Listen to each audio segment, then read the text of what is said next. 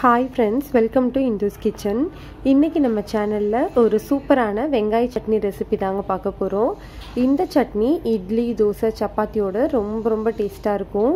ரெசிபியை பார்க்குறதுக்கு முன்னாடி நம்ம சேனலை சப்ஸ்கிரைப் பண்ணாதவங்க ப்ளீஸ் சப்ஸ்கிரைப் பண்ணிக்கோங்க. ஃபர்ஸ்ட் வந்து ஒரு பேனில் ஒரு டீஸ்பூன் அளவு எண்ணெய் சூடுபடுத்திக்கலாம். எண்ணெய் சூடானதுக்கு அப்புறமா இதில் ஒரு எட்டு வரமிளகாய் சேர்த்துக்கோங்க. உங்கள் காரத்துக்கு ஏற்ற மாதிரி நீங்கள் மிளகாயை அட்ஜஸ்ட் பண்ணிக்கோங்க. மீடியம் ஹீட்டில் வச்சுட்டு ரெண்டுலேருந்து மூணு நிமிஷம் நல்லா வதக்கி விட்டுருங்க. மிளகாய் வதங்கினதுக்கு அப்புறமா இதில் ஒரு கால் டீஸ்பூன் அளவு வெந்தயம் சேர்த்துக்கோங்க. ஒரு டீஸ்பூன் அளவு வர மல்லி சேர்த்துக்கோங்க. இப்போ நம்ம ஸ்டவ்வை லோ ஹீட்டில் வச்சுட்டு ஒரு மூணு நிமிஷம் நல்லா வறுத்து விட்டுறலாம்.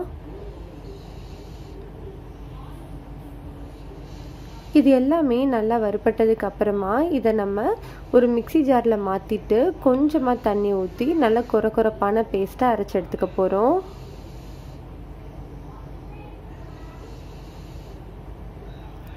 இப்போ பாருங்கள் நம்மளுக்கு அந்த பேஸ்ட் ரெடி ஆயிடுச்சு அதை தனியாக வச்சுக்கலாம். இப்போ நம்ம அதே பேனில் திரும்ப ஒரு ஸ்பூன் அளவு எண்ணெய் சூடுபடுத்திக்கலாம்.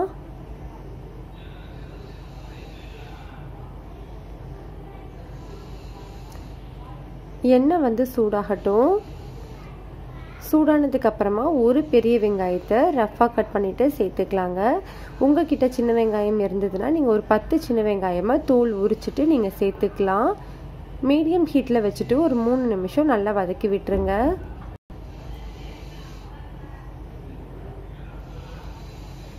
வெங்காயம் வதங்கிக்கிட்டு இருக்கும்போதே இந்த அளவுக்கு புளியை ஒரு கால் கப் அளவு தண்ணியில் ஒரு பதினஞ்சு நிமிஷம் ஊற வச்சுட்டு அந்த தண்ணி எடுத்துக்கோங்க. அதை இப்போ இதில் சேர்த்துடலாம்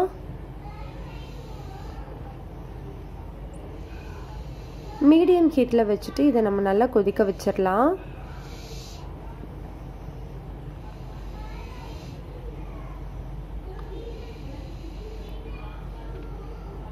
இப்போ நம்ம இந்த சட்னிக்கு தேவையான அளவு உப்பு சேர்த்துடலாங்க. கூடவே நம்ம அரைச்சி வச்சிருக்கிற அந்த மிளகாய் பேஸ்ட்டையும் சேர்த்துடலாம். சேர்த்துட்டு மீடியம் ஹீட்டில் வச்சு நல்லா கலந்து விட்டுருங்க. இந்த மிக்சி ஜார் கழுவின தண்ணி மட்டும் இதில் நம்ம சேர்த்துக்கலாம். சேர்த்துட்டு இது ஒரு மூணுலேருந்து அஞ்சு நிமிஷம் நல்லா கொதிக்கணுங்க. அதில் உள்ள தண்ணி எல்லாமே நல்லா அப்சர்வ் ஆகணும். பாருங்கள் நல்லா இழுத்துருச்சு தண்ணி எல்லாமே. இப்போ நம்ம ஸ்டவ் ஆஃப் பண்ணிவிட்டு ஒரு மிக்சி ஜாரில் ஆறினதுக்கு அப்புறமா எடுத்து அரைச்சிக்கலாம்.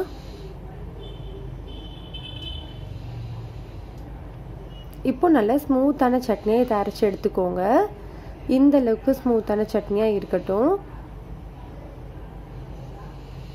இப்போ நம்ம அதே பேனில் ஒரு ரெண்டு ஸ்பூன் அளவு நல்லெண்ணெய் சேர்த்துக்கோங்க. ஃபஸ்ட்டு நீங்கள் யூஸ் பண்ணுறது நீங்கள் நார்மலான குக்கிங் ஆயிலே யூஸ் பண்ணிக்கலாம்.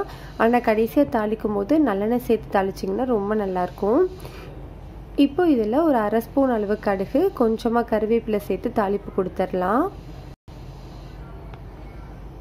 இப்போ இதில் நம்ம அரைச்சி வச்சுருக்கிற சட்னியை சேர்த்துட்டு கொஞ்சமாக தண்ணி ஊற்றிக்கோங்க ஊற்றிட்டு லோ ஹீட்டில் வச்சுட்டு ஒரு அஞ்சு நிமிஷம் நம்ம நல்லா மூடி போட்டு வேக வச்சிடலாம். நல்லா கொதிக்கும் சட்னி.